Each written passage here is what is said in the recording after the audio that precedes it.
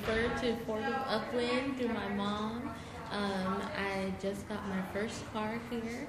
Uh, JD, JJ in finance and Scott did everything they could to help me today.